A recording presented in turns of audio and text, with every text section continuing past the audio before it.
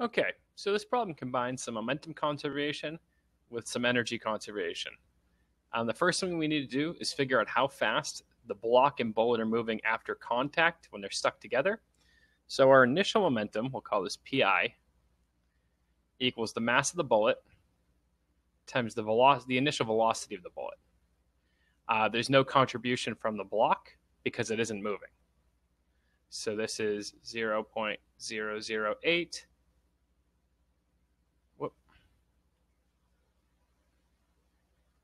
times 280, which equals 2.24 kilogram meter per second. We could set this equal to our final momentum. So I'll start here. P final equal to 2.24 equals the combined masses, m small b plus m big B, over the final velocity. I call this V final of the combined mass. So if I rearrange this and solve for V final, 2.24, the sum of the masses, 0.008 plus 0.992 is one kilogram. So our final velocity is just 2.24 meters per second. Okay, once I know the velocity of the block initially, that sets up my initial energy in the system because the, the spring is not compressed yet. So the only energy that, that is there is kinetic. So here we have one half m, which is one kilogram, v squared.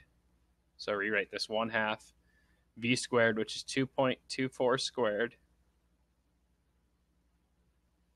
equals 1 half k times the total compression. The reason I, I use the total compression here is so that the, the only energy available uh, when the spring is fully compressed and, and the block isn't moving is spring potential. So I can set these things directly equal to each other. Delta X max. So we have that if we rearrange this thing and solve for k, k equals 2.24 squared over 0.15. Sorry, that's squared here. Squared, which is 223 newtons per meter.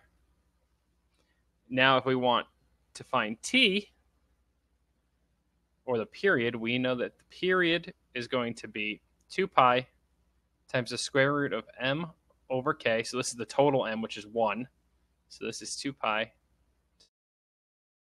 over 223, which equals 0.421 seconds.